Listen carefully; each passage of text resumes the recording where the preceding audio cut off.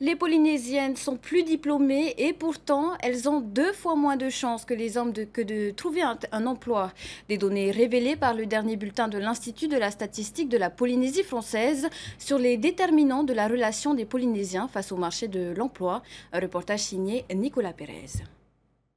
L'égalité des genres au travail a encore du chemin à faire. Si en 2020 le salaire des femmes rattrape celui des hommes, elles sont encore pénalisées dans leur recherche d'emploi. Les Polynésiennes ont beau avoir un niveau de diplôme supérieur aux hommes, elles ont, selon l'ISPF, deux fois moins de chances de trouver un emploi. Une triste tendance que nos sociétés patriarcales ont du mal à inverser.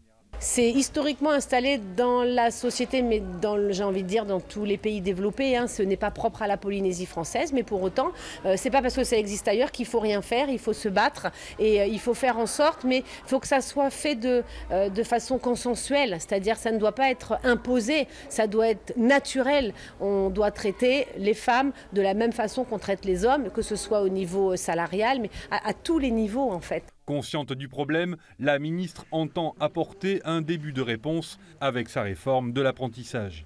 Euh, un des freins au retour à l'emploi des femmes qui ont eu des enfants ou qui ont décidé de s'occuper de leurs enfants euh, quelques années euh, lors de leur retour sur le marché de l'emploi. Il y a toujours cette problématique de qui va garder bébé, comment, le coût que ça a. Donc on a intégré dans la réforme de l'apprentissage une prise en charge financière par, partielle en fonction des, conditions des futurs apprentis pour permettre justement à ces femmes un meilleur retour sur le marché du travail.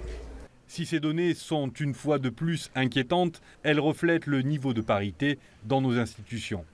Oui, les mentalités changent. Regardez, il y a déjà la parité à l'Assemblée de la Polynésie française. Euh, on espère se battre un jour pour qu'il y ait la parité également au gouvernement. Euh, c'est un vœu pieux, mais euh, on y croit. Et on travaille tous les jours, mais pas que nous, avec l'ensemble euh, de la société euh, civile, avec les chefs d'entreprise, avec euh, voilà. C'est une conscience collective à avoir sur ce sujet-là. À quelques mois des territoriales, reste à savoir si les futurs candidats se pencheront sur la parité dans les instances politiques du Fénois. Notons que le gouvernement est encore loin du compte, avec seulement deux femmes sur neuf ministres. Idem pour le CESEC, avec 11 femmes sur 48 membres.